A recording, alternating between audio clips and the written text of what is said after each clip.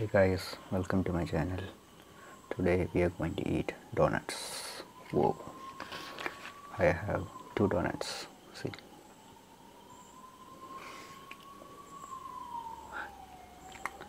And